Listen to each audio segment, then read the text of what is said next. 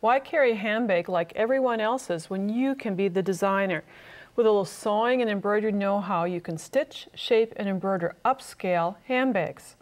My guest is embroidery expert and handbag expert specializing in trendy embroidery techniques. Please welcome back Eileen Roche, who's the editor of Designs in Machine Embroidery magazine. Thanks for being with us again. It's great to be here, Nancy. You know, the best thing about handbags when you create your own is no two look alike. During our first episode, we gave designer details at the corner and strap area bags. Now we're turning our focus to putting the bag together and creating the tab options designer handbags. That's what's coming up next on Sewing with Nancy. Sewing with Nancy, TV's longest airing sewing and quilting program with Nancy Zieman, is made possible by Baby Lock, a complete line of sewing, quilting, and embroidery machines and sergers. Baby Lock for the love of sewing.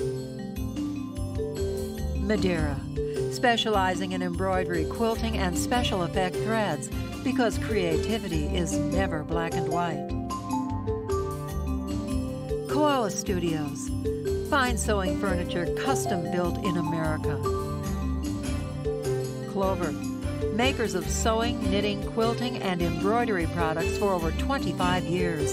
Experience the Clover difference. Amazing designs and Class A needles. During our first program of designer handbags, Eileen and I detailed working with the bag, working with the fabric, the stabilizers inside, adding an embroidery. And this is one of our designs where the embroidery has been added to the corners and it's stitched in the shape and the decorative effect all in one. We ha have lots of stabilizers in this bag and we also will show you during this program how to do some shaping, adding some snaps in very unique positions to change it from a rectangular bag to an angled bag. And Eileen, the tab is going to be our feature because the tab can be attached easily, sewn in the embroidery machine, and then we have exact placement for the snaps. That's right, and that tab, of course, is a digital file, so it's going to be perfectly symmetrical and fit perfectly on the bag, exactly where it needs to land.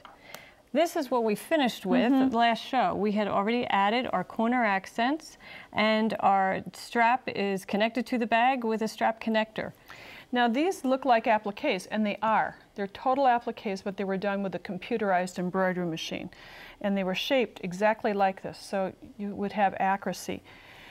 No matter what kind of bag you're making, whether you're doing embroidery as we are doing today, or you're just doing straight stitching, it's important to have stabilizer, the proper stabilizer. You want the bag to stand up uh -huh. and uh-huh. really have some body, and this extra firm craft stabilizer does that. Or interfacing, I guess we could call it. Right, and it's and another option is a foam type of stabilizer or interfacing. It's used, sold in the upholstery department for relining mm -hmm. cars, the headliner area of the car. It's kind of odd, but works great in bags. It does. So use one of these two options. Now you're going to create two of these. You need two, one for the front, one mm -hmm. for the mm-hmm. back, and then it's time to sew it together. The best part about it is all that's left is three seams and to finish the top of the bag. So here we have two completed front, a completed front, completed back, and we've done some stitching. Now when you sew the bottom seam together, you want to match the appliques. Uh, you know, pin there mm -hmm. first or use binder, binder clips so that it, they're perfectly matched. And then you sew it with a quarter inch seam mm -hmm. allowance. I used a template which called for a fourth of an inch seam allowance. And mm -hmm. because of that crisp stabilizer, it's tricky to press it. It is, and you have a great tip for that, Nancy. You like to use a wooden dowel mm -hmm. that you just slide underneath of that seam and then take your iron and press it open. And by doing this, you're not going to leave any marks mm -hmm. on the outside of the bag from the seam allowance. Right, and that hard surface will flatten it out. And then right. for the bottom seam only, we do one extra step. I'm just going to set aside my dowel. And that's a multiple step zigzag to secure down the stitch. I think you can see that better as we go to the right side of this. You can see that multiple step zigzag. There we go, maybe right in here. Yeah, and you've selected a thread that just blends with the fabric. That's perfect. So it's nice and flat. Mm -hmm. But yet a, a, bag, no matter what style of bag you're making, just basic, no embroidery, you need some additional stabilizer down here. You want to define the bottom and really give mm -hmm. it a mm-hmm. rectangular base. And you use a plastic, it's a sewable plastic, which Yes. is quite cool. Right, it's stitchable plastic, so you can find this, you know, somewhere in your uh, in your sewing room or your favorite sewing center. Cut it the width of the base of the bag or, or tote or handbag, and it's easy to sew through, kind of tricky to pin. So we've used double-sided basting tape. So it's cut the width that you see of the cutout, and then you just put it down. Mm-hmm. And then on the other half of this bag, I've stitched it all the way, half of it. We got a funny little guy here. This is a foot. The foot, you're going to have four of these, and we'll put four feet on them, and they're put on like a magnetic snap. It has prongs and a mm-hmm. backing and really very simple to do. And we're going to show this to you, how to put these on using a magnetic snap. What a mm-hmm. great segue, Eileen. I le- led into the magnetic did. snap. Mm-hmm. And this little black circle that you see here was actually the last color of the strap connector. So it, once that's stitched, you know exactly where to place it on the bag front, and it coincides with the, ta with the tab that you'll later add to the other side of the bag. So just as a review, that's the position when we're embroidering the last color. It's going to stitch this round circle, and here you can see that. There's a close-up of the machine doing that particular stitching. And we like that because you can then place the back of the snap in this area and cut with a It's a buttonhole chisel, I guess, yeah, huh, right, Nancy? Exactly. Yeah, nice and sharp. And then you insert those prongs. Sometimes might take a little doing. You have to kind of Yeah. cut it twice. And so then easy to do on camera. Huh, It is. It's easier to do on a flat surface, and you Yeah. bring it through. And oh, one more time, Nancy. Here we go. You got to get the prongs to fit your markings. There we go. And if you have a little scrap of the, if you have a little scrap of the plastic, you can put that in that same backing we used. Put on the backing. One more time. Here we go. Mm-hmm. And then flatten it out. And that way the snap is in the right spot, is secure, and now we're ready to do the stitching of the tab. For a chic bag closure, consider stitching a designer tab. Created totally in the embroidery hoop, the tab has embroidery accents and functional placement lines as part of the embroidery design. Eileen and I will show you up to the minute tips. This technique, sewn totally in the hoop, gives us a tab. This is kind of a, the tab we're going to work with right now that is decorative as well as functional. The functional, again, having the placement for the snap exactly stitched as a guideline in the embroidery hoop. You'll be having a file for the back of the tab, and Eileen's going to show you how to create the front. I have the detail to show you the back. Eileen, there's just one digitizing file for the back. That's right. And it includes an outline, alignment marks, and the snap placement guide. Now, the here's the outline and the placement marks, and then the snap guide. You also stitch this on the on a stabilizer, the same thing. Mm-hmm. And then you cut out the stabilizer so that you don't have the bulk in the seam allowances, and you can trim the fabric fourth of an inch or so beyond the trimming, and then just fuse the stabilizer in place. You saw that snap placement that, that zero or that circle, and that's where you're going to put the snap. So you have created the back of it. That's the functional part. Now for the decorative part. I've selected my tab closure design and I'm going to just walk you through the colors so you can see. Color one is a decorative element that's right on, stitched right on the fashion fabric. And then we'll go to color number two and that's where those hash marks come into play. They're very important. And then color three will be the actual, uh, it's a two ply run, meaning it's going to start up here, run all the way around the design and return. And that's going to sew my lining to my front. So let's go ahead and get started with this design. I'll lower my presser foot and sew. Gives new meaning to the word sewing when you can just push the button and no right. hands. No hands. Now, the, there are several options. There's pretty ones that uh, have some polka dots to it, really some, Sure. you know, accents, and then some quilting designs on the other tab. So you can see this is takes a little bit longer to stitch out with gridded mark and polka dots and a marquee shaping. And then the third option that we have is a quilted option. Looks like a double wedding ring quilted style. Mm -hmm. Again, all the functional part is stitched to the underside of the tab, and this has the quilting design. Tone on tone is nice, or you can use contrasting. It coordinates with some of the strap connector designs. Mm -hmm. This is a, a bean stitch. You know, Nancy, a bean stitch is a triple stitch, so it means that the needle penetrates the fabric at point A, comes back to B, enters again at A, and then moves forward. And so it's a very strong stitch, but it also gives a great accent to any kind of plain fabric. Mm -hmm. So as this stitches, it's just going to take a couple of minutes to sew the edge. And then Eileen's going to place right sides together. And rather than taking off the embroidery unit, she, she's just going to be able to do that stitching right in the embroidery unit. So we're going to let this stitch, and when we come back, it'll be almost completed. My design is almost complete. I've already stitched color one, the decorative details, and color two, which are the alignment marks. There's four that are stitched in the hoop. They're outside of the pretty design, which is a good thing because we'll use them to line up the lining of the tab with the design that is stitched in the hoop. Nancy, when you stitched this, you did a great job making sure that you didn't trim away those alignment marks sure. on the lining. Leave a generous fourth of an inch seam allowance. I, I think so. And we're going to go ahead and start this. We'll help it along a little bit, make sure that the foot doesn't catch the top of the tab. But once you start, you're in good shape. And you know, so often we think of embroidery as decorative. Well, this is a functional part because it's doing the sewing, sewing the tabs together, which makes it easy and it has back stitches at the top. It does, and it's actually going to travel around twice. And you know, Nancy, I, am sure you are able to do this, but I would not be able to sew a perfect scoop or just sure. curve on both no, sides. So this is a, a, way to get a very professional fin finish with an embroidery design.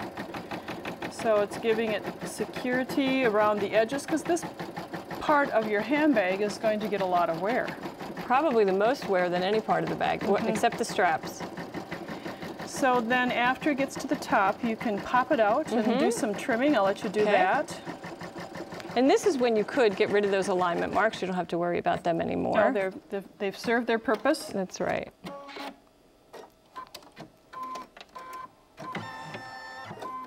So I'll pull it out of the hoop and we'll trim it this out of harm's way. Sure.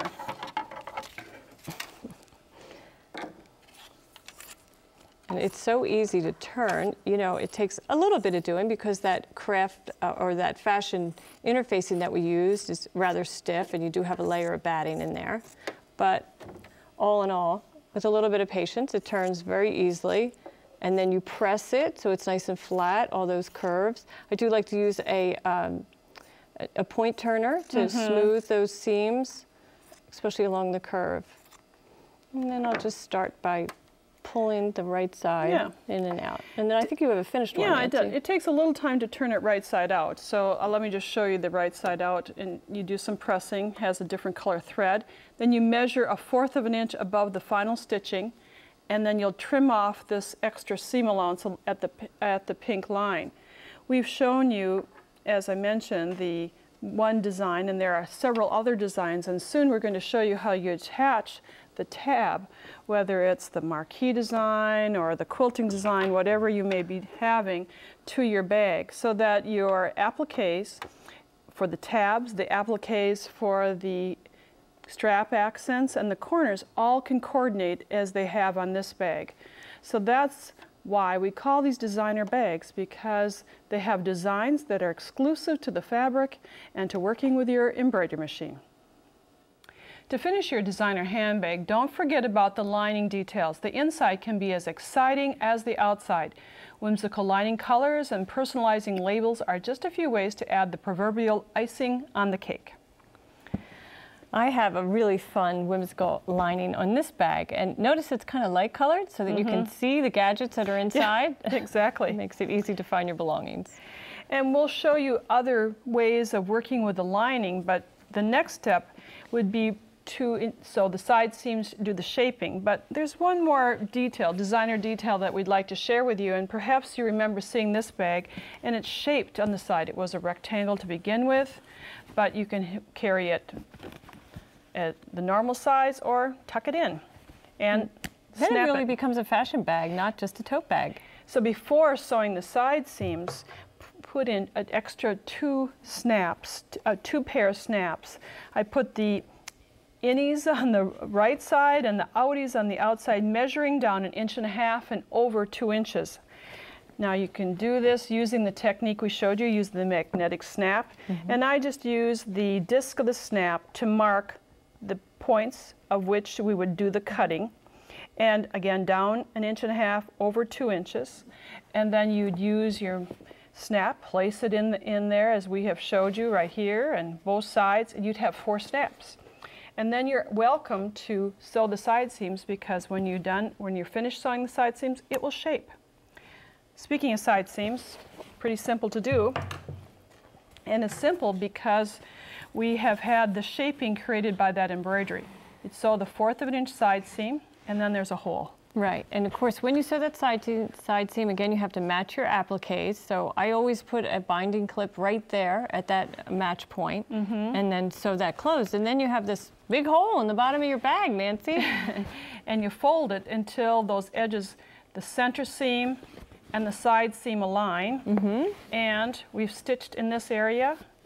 And when we turn this right side out, there's a lot of stabilizers in here, but let me show you how that shapes. And that stabilizer is really very forgiving. You can mm-hmm. kind of manhandle it in this fashion and then steam all the any creases or folds that you don't want. And notice, here's the embroidery. I've only turned half of this inside out. We'll give you another bag, but look at what a nice shape that is. Beautiful. It's very professional looking, Nancy. Sew the other seam and then cut a lining, fun mm-hmm. lining. I usually cut my lining the same size as my bag, but I use a mm-hmm. half inch seam allowance on the side seams so that it just a little tiny bit smaller than the bag and fits in there nicely. You can add an embroidery, a mm-hmm. label, whatever you'd like, and then meet the, the lining inside the bag, wrong sides together. Here's another progression that we have of the bag where the lining, fun lining, is meeting to the bag, and we've used clips because sometimes those pins, it's you get hurt. You get hurt. when you're sewing around. Now you know we just finished with that tab, sewing the tab, and here's another tab we have. And I've marked the center of the tab, and place it in the center of the bag bag, and then you'd stitch across the end. mhm, to baste it there, The very final step is to finish the top. the binding. And this is a very simple quilting technique that we've used and applied. Now we have contrasting samples. You would have the same binding strip and the binding would be cut two and a half inches wide.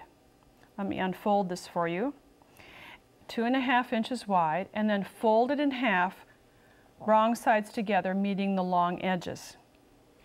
This is a quilting technique, so perhaps some of you have done this. So one end is cut straight and the other end is cut at an angle, a 45 degree angle. Just trim it off with your ruler at 45 degrees and then place a strip of paper-backed fusible web on the very edge and press it to the inside. Start sewing at this angled edge, sewing about four inches from the end, and then you'd sew all the way around. Right. This represents the tail end. Mm-hmm. Now, Eileen, you want to take out the fusible web? I'll- Sure, I'll give that to you. Okay. And that will allow me to tuck the binding end into the binding beginning. And then do the honors and give it a press. This will be the seam, the seam for that short little edge.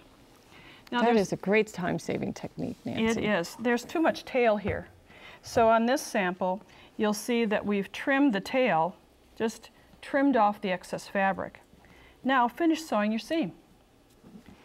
On this sample, we simply would wrap the binding to the wrong side and edge stitch or stitch in the ditch. You want to mm-hmm. show them your bag, Eileen? Sure. So around the edge, the binding was just stitched in the ditch or the edge. And through working with the magic of sewing techniques and embroidery techniques, you have all the basis you need to know to make a designer handbag.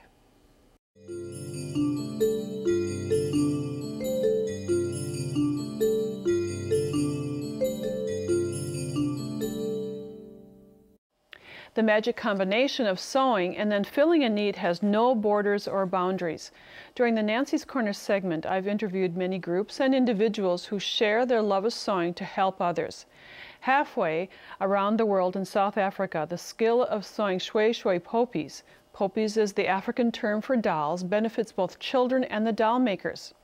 Elizabeth Schell with Marula Imports is involved with the project and joins us on Skype. Welcome back to Sewing with Nancy, Elizabeth.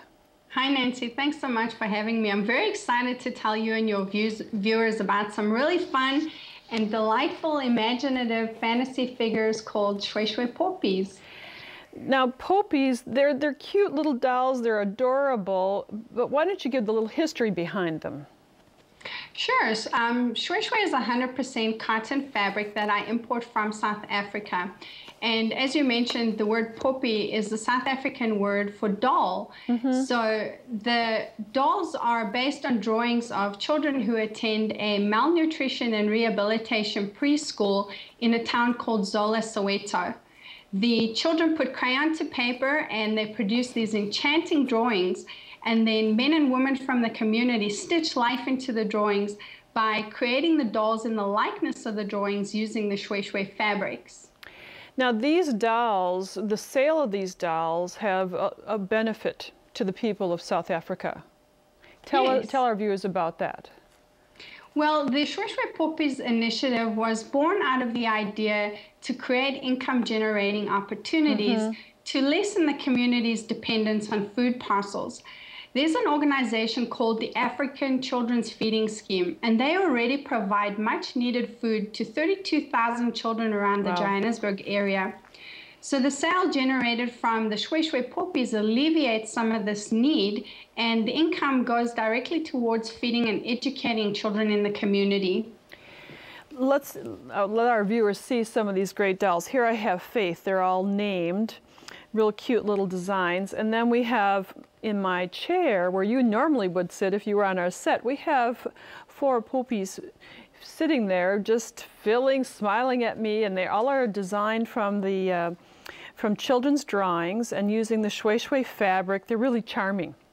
They're all very unique. They're a little quirky, and best of all, they're very much untainted by adult perspective. Right. That they're quirky, and and they they just you just want to smile when you look at them.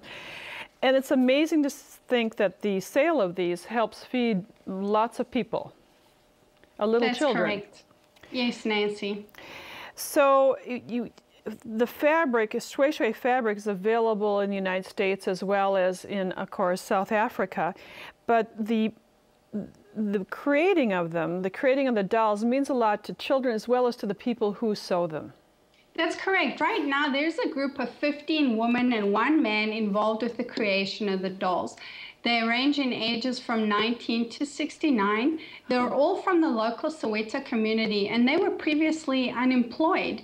So this Shwe Shwe Poppies initiative is offering them so many benefits. It's most importantly sustainable employment, mm-hmm. um, educational opportunities, and then a real sense of pride and purpose for the people involved in creating the dolls. And you know, no matter where people are sewing, whether it's in South Africa, the United States, uh, Japan, or wherever across the world, I think what you are telling us that that's exactly what it brings encouragement it sustains people and the gift is in the giving and, and that's what you've been doing through your fabric. That's uh, correct. Are there some other in interesting thoughts you'd like to share with us about the dolls the poppies it's such an interesting term Yes, well, you know, the Shwe Shwe Poppies initiative, it has done so much for the social upliftment for impoverished communities, mm-hmm. but it's done other things, had other benefits that were really unexpected. It's really helped build the the self-confidence and self-esteem of the people involved. They're so excited about what they've accomplished so far, and they're really excited about the potential for the future for what they could accomplish all through sewing and some artwork by children and using your specialty fabric. What a, a, great combination. Elizabeth, thank you for being with us and for sharing this great project and your wonderful fabric. Thank you, Nancy. I'm very privileged to have joined you today. For more information on Shwe Shwe Poppies, please check out our website, nancyzieman.com, where you'll find everything relating to Sewing with Nancy. The current 52 shows are available for you to watch online, and all the Nancy's Corner guests are listed, so, so are their topics. Plus, you'll find more sewing and quilting information posted bi weekly on my blog. Special thanks to Eileen, Eileen Roche for joining us for Designer Handbags, our two-part series on creating and stitching with embroidery the bags. And thank you for joining us. Bye for now. Nancy and Eileen have prepared a CD entitled Designer Handbags that includes the instructions, designer techniques, and embroideries for the bags featured in this two part series. For ordering information, call 800 336 8373 or visit our website at sewingwithnancy.com slash 2517. Order item number CD00800 Designer Handbags.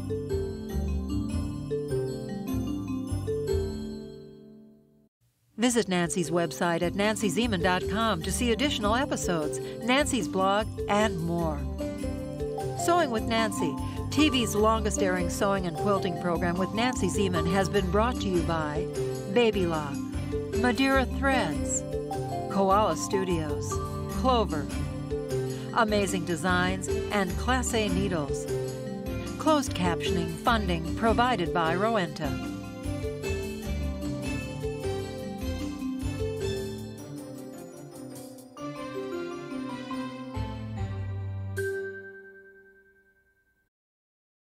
Sewing with Nancy is a co production of Nancy Zieman Productions and Wisconsin Public Television.